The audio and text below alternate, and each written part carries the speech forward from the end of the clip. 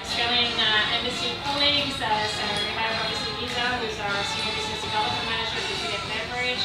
We have Pat also, who's uh, also our Business Development Manager uh, with food. And then we have our dear colleagues as well from the Embassy, from the media uh, team and public diplomacy team. So we have Lila and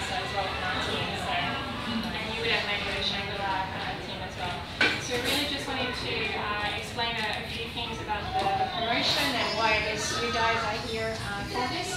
Um, so this promotion is got kicked off on the 20th of uh, June and it's going to run until the 20th of August.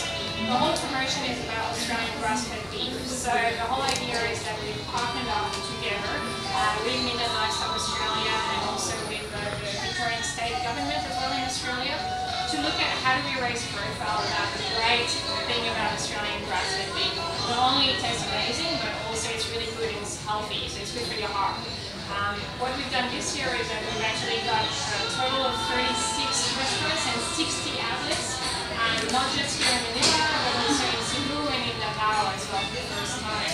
And also we've got a whole range of cuisines. So our whole point is that, you know, it's not just Australian grass-fed beef that is catered into just Australian cuisine.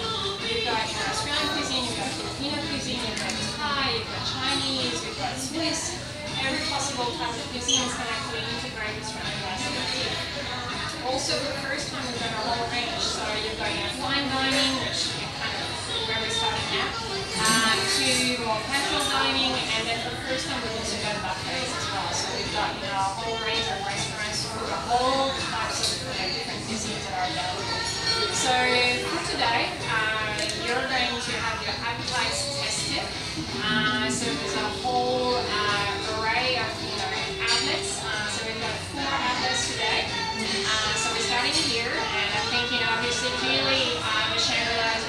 really set the extremely high for us.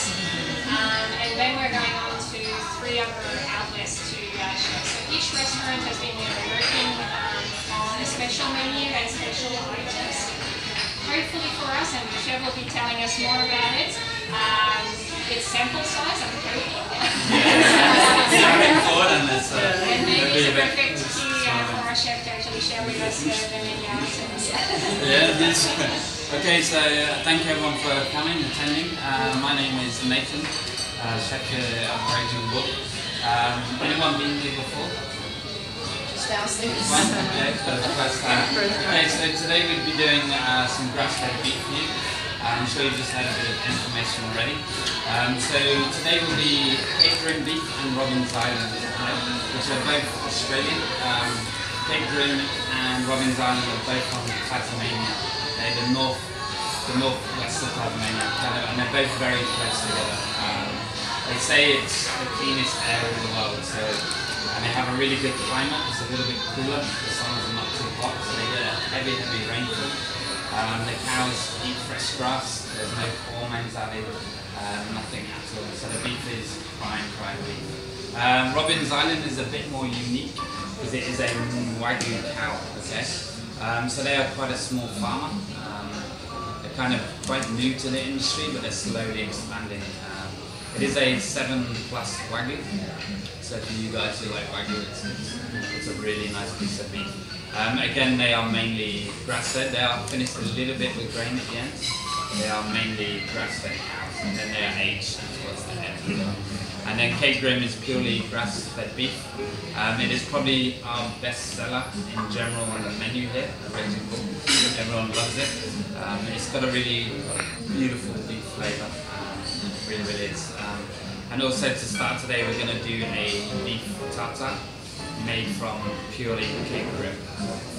Yeah, really good for you. So excited, chef. Right, okay, so have a seat everyone and uh, Thank you, chef. I hope you enjoy the meal today. Okay? Thank you. Thank you.